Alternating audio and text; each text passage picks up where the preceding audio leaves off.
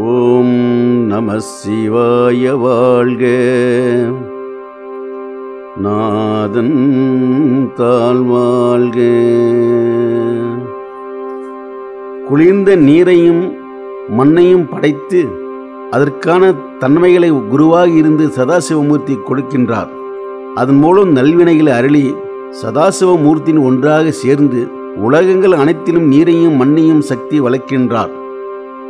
சதாசிவமூர்த்தியின் assume சக்தியான எண்ணத்திலே உதித்த கருத்தானது சிவத்துடன் கலந்த மண்ணாகவும் சக்தியோடு கலந்த நீராகவும் இரண்டும் கலந்து உலகங்களாகவும் மாறுகின்றது. இதில் சிவமும் சக்தி மலரில் கலந்திருக்கும்.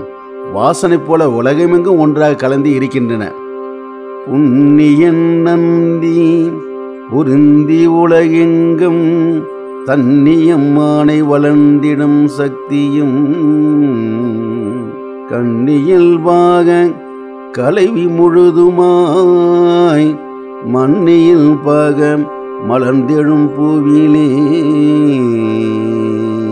திருச்சிற்றம்பலம்